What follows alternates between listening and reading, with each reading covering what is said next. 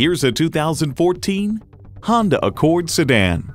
It's Honda, so longevity comes standard. It comes with all the amenities you need.